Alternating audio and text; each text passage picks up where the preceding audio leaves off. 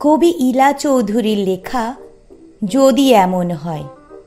যদি এমন হয়, একটি হাতি পালিয়ে এসে আমার ঘরে রয়। বয়স আমার ছয়, তারই পিঠে চড়ে আমি করব ভুবন জয়। জাগে মনে ভয়, সুরের ঘায়ে ফেলে দিলে কিছুই হবার নয়।